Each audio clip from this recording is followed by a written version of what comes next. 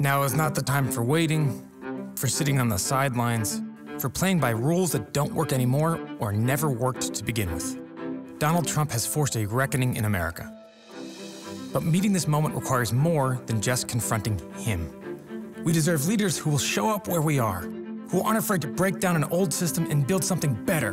A healthcare system of salvation, not scarcity. A just economy. Absolute civil rights. Humane immigration policy. Un sistema de justicia de equidad, no de opresión.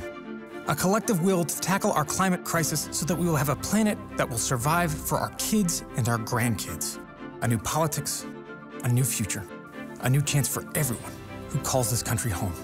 In this moment, we refuse to accept the status quo that tells us that big things are impossible, progressive dreams unreachable.